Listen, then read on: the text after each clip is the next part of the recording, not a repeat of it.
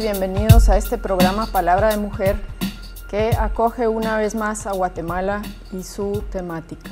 En este caso vamos a tratar el trágico suceso del 8 de marzo de este año en el Hogar Seguro Virgen de la Asunción a 20 kilómetros de la ciudad de Guatemala, eh, un refugio para eh, niñez, para menores, en donde eh, producto de un incendio y malos manejos de una fuga y recuperación de población femenina, murieron 41 menores de edad.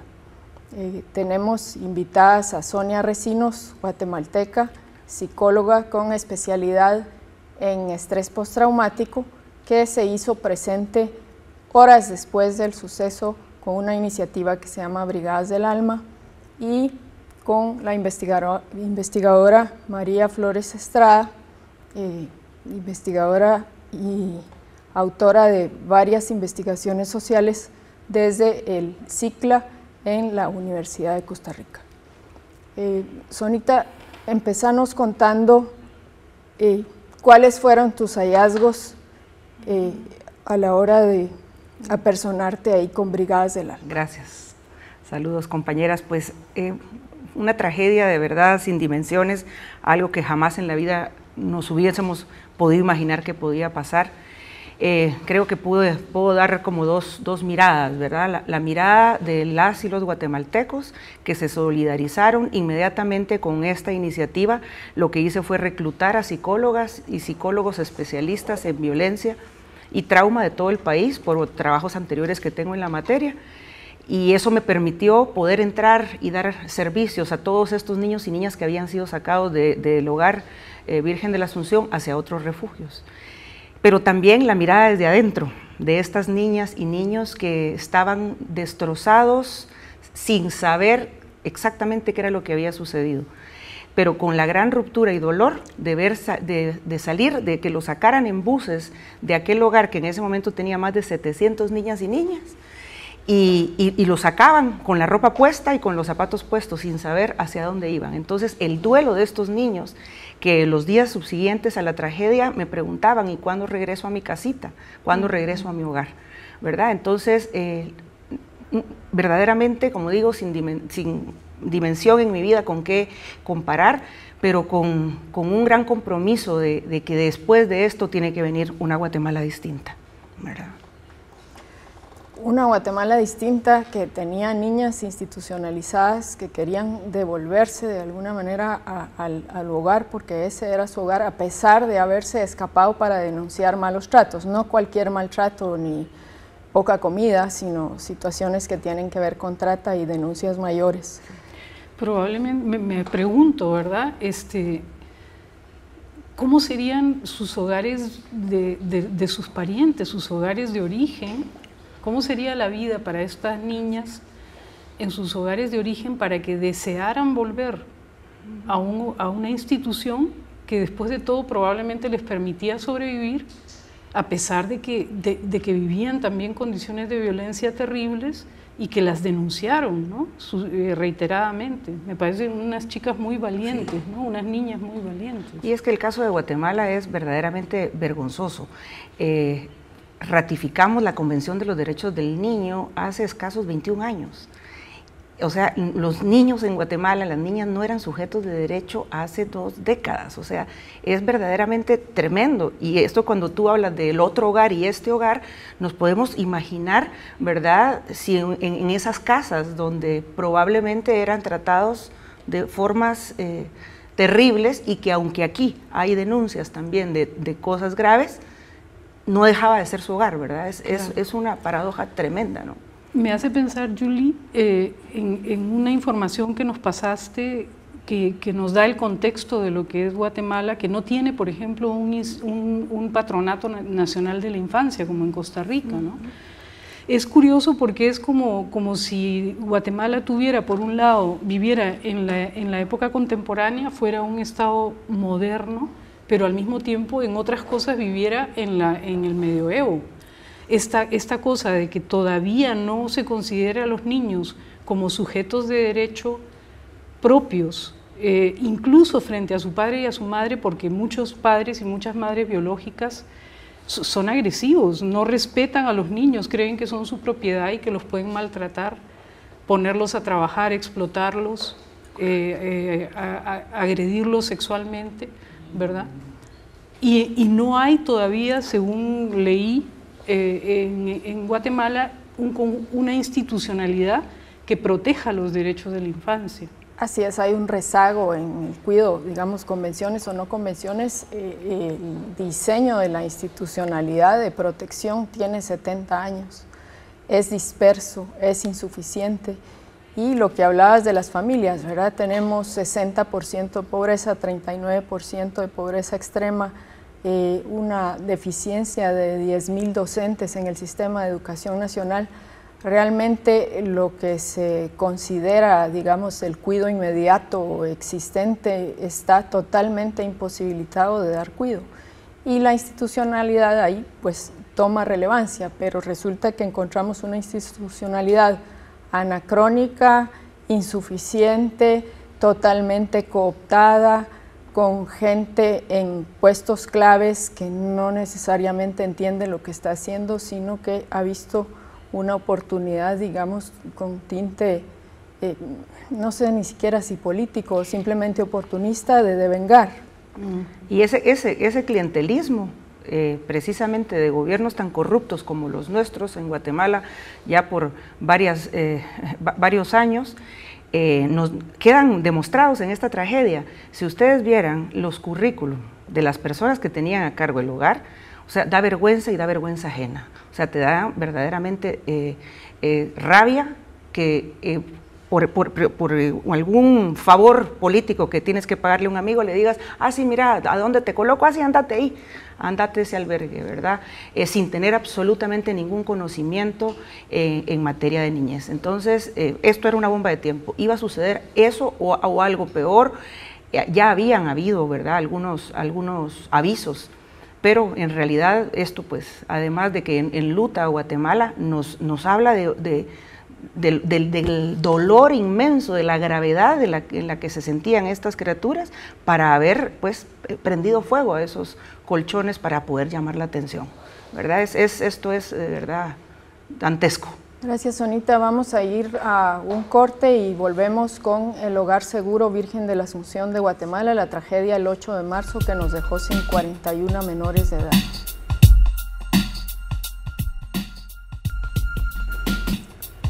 Dice Rita Laura Segato, eh, violación es eh, algo muy, muy presente en lugares en donde hay cimientos racistas Guatemala eh, no puede dejar de ser eso. Eh, la desnutrición en 45% en niños menores de 5 años. Por supuesto, desmenuzado el promedio sube a 58% en población indígena y baja a menos de 40% en población no indígena o que se considera no indígena. Eh, tanta deshumanización desde todos lados. María, si tú tuvieras como investigadora que interpelar a dos guatemaltecas que te acompañan hoy o al país en pleno, ¿qué preguntas harías? Más que todo en vías de cómo rehumanizarnos.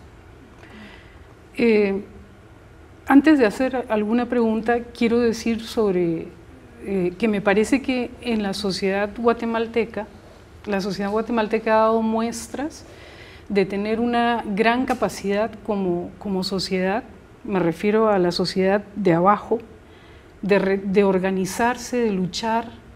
Tienen años de lucha, obviamente, por sus derechos, llegando inclusive a, derrocar un gobierno hace recientemente. Hay organizaciones de mujeres, de niñas, que luchan por sus derechos. Eh, yo quisiera saber qué papel están jugando las que, los sectores que supuestamente deberían tener mayor autoridad moral para luchar por los derechos humanos en Guatemala, como por ejemplo las iglesias. No puedo olvidar que, fue un general que a su vez se declaraba pastor evangélico el que prácticamente desarrolló la táctica de guerra arrasada en Guatemala en la época de la guerra.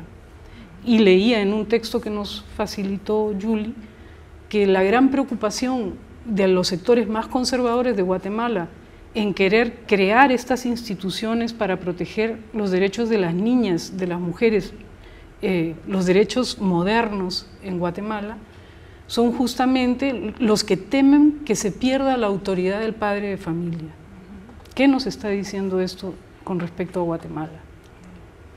Correcto. Ahora que, hablabas, tenía el recuerdo de, una de las niñas eh, sobrevivientes a la tragedia diciendo de cómo veía cómo los policías que estaban alrededor del de aula donde ellas estaban se reían, se burlaban mientras ellas estaban quemando. Y gente, cuando tú leías en los periódicos, tanto digitales como eh, de, de otros tipos, eh, los comentarios del guatemalteco, ¿verdad? Eh, conservador, mátenlos a todos. Es que esa es población de desecho. Y, y los, como las que estaban encerradas y en un lugar fueron las niñas las que murieron, pero había una cantidad parecida de varones, entonces decían, y a ellos no los dejen ir, de una vez desaparezcanlos, ¿verdad? Incluso la tardanza para atender la tragedia tuvo que ver con que las autoridades pensaron en no decir nada. No, sabemos qué iban a hacer con esos 41 cuerpos. Entonces, sigue respondiendo a, esta señal, a este señalamiento que tú haces. ¿Verdad? Definitivamente, ¿verdad? Somos una sociedad de la posguerra sucia sin que necesariamente se haya hecho el nivel de revisión que se requiere, ¿verdad?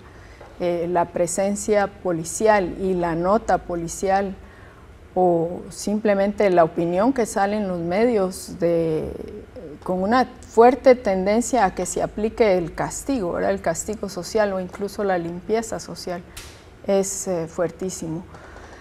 Desde las organizaciones feministas sostenemos eh, que estas menores al fugarse una vez y otra vez, porque había habido un evento de fuga de más o menos la misma población cinco meses antes, eh, con fuertes denuncias, repito, es eh, un movimiento de resistencia que tuvo un contagio probablemente de, toda la protesta que resultó en votar, en derrocar a un gobierno corrupto y en tener 350 personas adscritas al gobierno por una u otra razón, eh, detenidas y en, proceso actualmente. Y eso pues es algo inédito, ya quisieran nuestros vecinos Honduras y México, creería yo.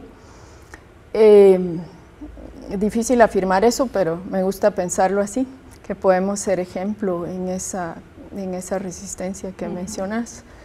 Eh, pero bueno, no sé qué más vías de, rehumanización podría haber por la parte de fortalecer la institucionalidad, hacer investigación. Eh, que si, Guatemala nos dijera qué hacer, ¿qué le diríamos?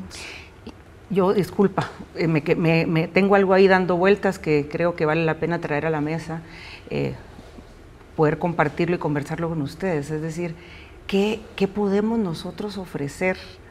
cuando estamos viendo un contramovimiento terrible, o sea, o, tal vez me gustaría escuchar su lectura. En la medida que, que los movimientos feministas nos hemos fortalecido, estamos dando mejores respuestas en muchos sentidos, visibilización, hay un contramovimiento del patriarcado de, de matarnos con más violencia, descuartizarnos, aparecernos, a, hacernos aparecer en pedazos, es decir, deje de insistir con sus derechos. No sé cómo lo ven y eso es parte de, esa gran preocupación que veo que se extiende y se extiende. Ahora que mencionaste México, Honduras, en realidad en toda nuestra América Latina las mujeres cada día estamos en peores condiciones a pesar de que ha habido una buena respuesta.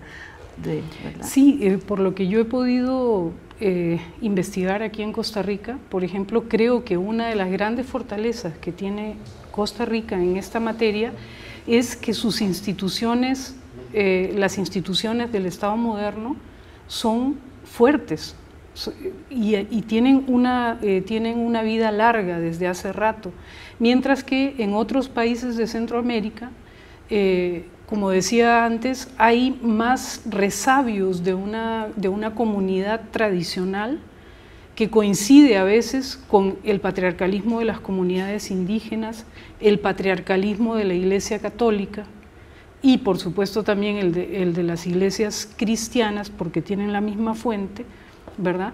Y hay un temor precisamente ante el avance de los derechos de las mujeres, de los derechos universales, humanos y de los derechos de la infancia, hay este temor a perder poder de parte de los hombres que están acostumbrados a mandar, no a vivir en convivencia, no a vivir con respeto, sino a educar castigando, a gobernar mandando, con dictaduras, con militares, con armas, ¿verdad?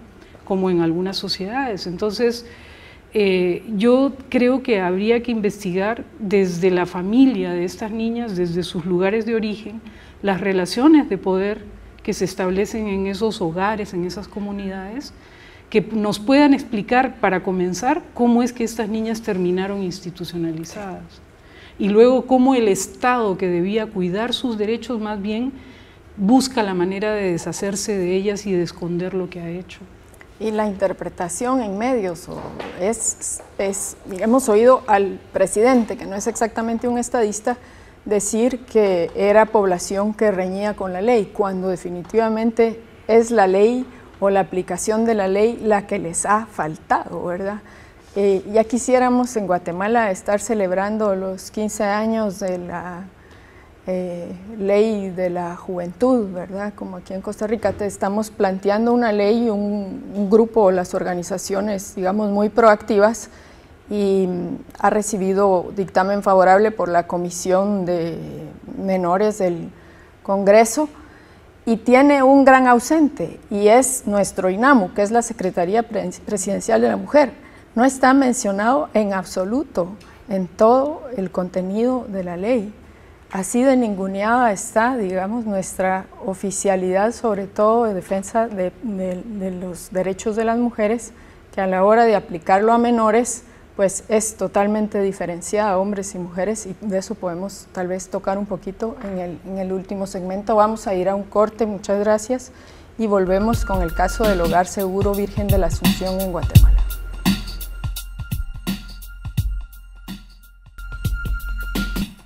Eh, en la primera marcha que hubo de manifestación y petición de justicia relacionada con este caso el sábado siguiente a la tragedia, lanzamos un eslogan que era Soy niña sobreviviente embarazada de su tierra arrasada, haciendo una alusión a precisamente las 626 masacres de, bueno, solo el periodo 82-84 en Guatemala en nuestra guerra sucia que duró demasiado.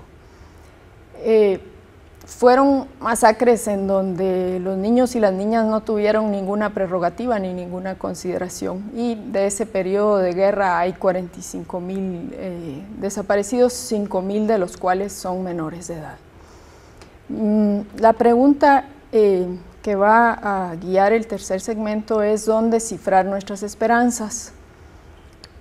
En mi caso, me voy a adelantar a decir que todas las organizaciones eh, feministas se han cohesionado en torno a los derechos humanos de mayores, de menores y a subsanar o a reparar todo lo que el Estado o el país, la nación, no ha hecho. El caso de Sepur Sarco ha sido tratado en este programa dos veces con anterioridad y eh, ahí convergieron varias organizaciones por la parte legal, por la parte psicosocial. En el caso del Hogar Seguro Virgen de la Asunción, la buena noticia es que al caso, porque se está siguiendo un caso judicial en contra de funcionarios, eh, dirección de la Secretaría de Bienestar Social, que tiene grado de ministerio, y eh, al director del centro en el momento de la tragedia, eh, se ha sumado en una figura que se llama querellante adhesiva la organización, una de ellas que se llama Mujeres Transformando el Mundo. Eh, está acentuando en lo que es y no es tortura. El momento del incendio había 56 menores encerradas en un lugar donde cabían 11 colchones. En un momento dado había 19 eh, sobrevivientes en el sistema de hospitales nacionales más de la mitad de las cuales dieron positivo para prueba de embarazo y estamos hablando de menores de edad.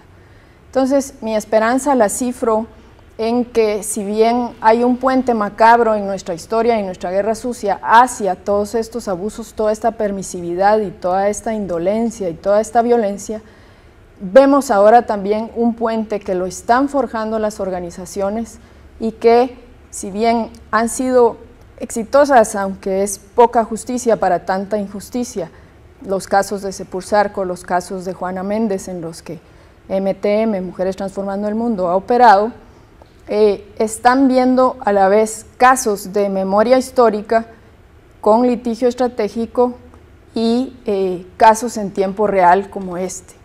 Yo ahí cifro mi esperanza y no sé si en algún otro lado, probablemente en el proceso que está llevando ahorita la Universidad de San Carlos de recuperarse a sí misma como centro de estudios y, de, y, representativo de, la comunidad, pero no sé si en otros lados, pero Sonita, ¿qué tendrías que decir? Pues eh, sí quiero hablar de la esperanza y, voy a, antes de, ir hacia, hacia lo que considero la necesidad de articular eh, todo el aparato eh, de protección, de todo lo que acabas de decir, hay una preocupación permanente antes de hablar de esperanza y es el trauma. como experta en, en desorden de estrés postraumático, créanme que ha sido una tragedia poder llegar y encontrar a un pueblo enfermo, ¿verdad? O sea, eh, esa guerra sostenida por tres décadas eh, te deja a un pueblo herido, te deja juventudes sin esperanza, te deja un país que no cuida a sus niños y a sus niñas, ¿qué es lo que cuida? Entonces, eh, poder constatar, ¿verdad?, en ese recorrido que he podido hacer por casi toda Guatemala en estos años, en mi trabajo como terapeuta experta en violencia sexual, he podido ver cómo el trauma va más allá y de verdad nos tiene como guatemaltecos atrapados en la desesperanza. Entonces, si yo pudiera eh, soñar, pensaría en comenzar a trabajar arduamente en sanar a ese pueblo ¿verdad? Tal y como trabajamos en los procesos estructurados con las niñas víctimas y niños de, las diferentes violencias, especialmente la sexual, yo quisiera pensar en un país que se va a comenzar a, reparar y a levantar de este dolor, eh, bueno, además de, décadas. La esperanza, pues esa sería una forma de verla, el aporte que quisiera dar, eh, esa cantidad de profesionales que se unieron a esto que, que, llamé brigadas, abrazos del alma, comprometidas de todos los rincones del país para decir hagamos algo y gratuitamente. Nadie estaba ahí pidiendo nada más que una Guatemala distinta, que coincide con lo que tú decías, ese país con esa fuerza eh, que le sale de las entrañas donde quiere hacer las cosas distintas. Sin embargo, pues lo que seguimos padeciendo y que tal vez tú nos puedas iluminar un poco, María, es cómo vamos a caminar en un país tan desarticulado, sin un ministerio como tal de la niñez, sin un ministerio como tal de la mujer. Aquel personaje que acabas de mencionar, el pastor y, presidente, decía que teníamos que tener un ministerio de la familia porque eso era lo que, ¿verdad?, eh, representaba sus, su, En fin, entonces, ¿qué, hacer, verdad? Este, yo sigo creyendo con ustedes, ¿no? creo con ustedes que la fuerza viene de abajo, viene de la gente misma ¿verdad? Incluso yo no sé qué pensar del empresariado guatemalteco, es como si ellos vivieran en otro mundo, ¿verdad? Eh, han levantado la voz con fuerza, ¿qué hacen? Utilizan el poder económico, el poder político que tienen para frenar esos movimientos conservadores que lo que hacen es reforzar la idea de que el padre tiene derecho de vida y muerte sobre los hijos y si el padre tiene ese derecho, el Estado también tiene el derecho de deshacerse de los hijos que no quiere o que no le sirven o que le estorban o que son el residuo de la sociedad como quisieran verlo. y, creo también con ustedes que la lucha de las mujeres es fundamental. Las mujeres a lo largo de la historia nadie las ha invitado a, a los grandes festines de los derechos humanos. La Declaración Universal de los Derechos Humanos se llamó originalmente de los derechos del hombre, pero las feministas, las mujeres siempre han luchado y siempre han conseguido cambiar el mundo. Yo tengo una gran fe en el movimiento de mujeres de Guatemala, tengo pues esperanza, esperanza de que, y, eso tiene mucho que ver con, esa pasión de la que hablaba. Eh, eh, Guatemala ha sufrido tanto, pero todavía seguimos con ¿verdad? Haciendo un, montón de movimientos y cosas hermosas para un país distinto. O sea, si bien es cierto, estamos hundidos en, eso que les decía, en ese dolor, en, la cultura del miedo, del terror, hay un grupo de guatemaltecas y guatemaltecos que sí estamos haciendo las cosas bien y que sí queremos algo distinto. De ahí debería venir, como tú dices, emerger desde las bases, ¿verdad? No sé cómo lo ves tú, Julie. Pues lo veo con, gratitud, veo y agradezco sus palabras y su presencia y, tenemos que terminar, pero seguiremos dando seguimiento a este caso de Guatemala, Hogar Seguro Virgen de la Asunción. Muchas gracias a Palabra de Mujer.